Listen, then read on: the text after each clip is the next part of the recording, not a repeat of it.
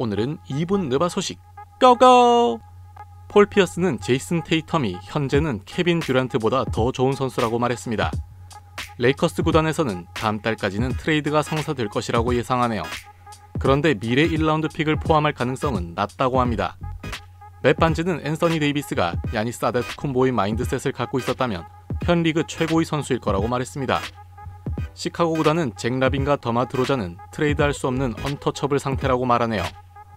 샤킬 오닐은 루디 고베어가 투정을 부리기보단 25리바운드 9block을 하면서 선수들이 덩크하지 못하도록 막아야 한다고 말했습니다.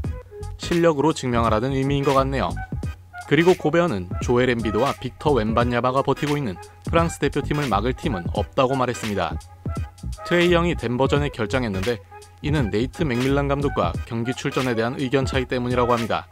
영은 현재 오른쪽 어깨에 부상이 있는 상태이며 맥밀란 감독은 그에게 벤치 출전 또는 경기 결장 중 하나를 선택하라고 했고 영은 경기 결장을 선택한 것이라고 하네요. 드레이먼드 그린이 GOAT 논쟁에 대해 입을 열었는데요. 마이클 조던은 지금까지 최고로 위대한 팀을 이기지 못했고 매년 가장 위대한 팀과 맞선 적도 없다고 말하면서 자신의 top5 선수는 1위 르브론 제임스, 2위 마이클 조던, 3위 코비 브라이언트, 4위 스테픈 커리, 5위 샤킬 오닐이라고 언급했네요. 르브론은 2003년에 빅리그로 와 2005년에 이미 최고의 선수가 되었고 2020년대에도 여전히 최고의 선수라고 덧붙였습니다. 브래들리 빌은 워싱턴과 재계약한 것에 대해 오프시즌 동안 팀을 살펴봤지만 자신이 갈 만한 팀은 없었고 특히 본인이 합류했을 때 우승할 만한 팀이 없었다고 덧붙였네요. NBA 관계자들은 뱀 아데바요가 만약 공격적으로 경기에 임할 경우 top10 또는 top15 안에 드는 선수라고 평가합니다. 마이애미 구단은 카일 라우리를 트레이드할 생각이 있다고 하네요.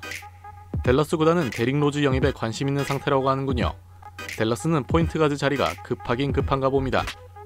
어깨 부상으로 수주간 결장이 예상되는 딘 웨이드가 3에서 4주 정도 결장할 것으로 예상된다는 소식을 마지막으로 오늘의 2분 느바 소식 끝!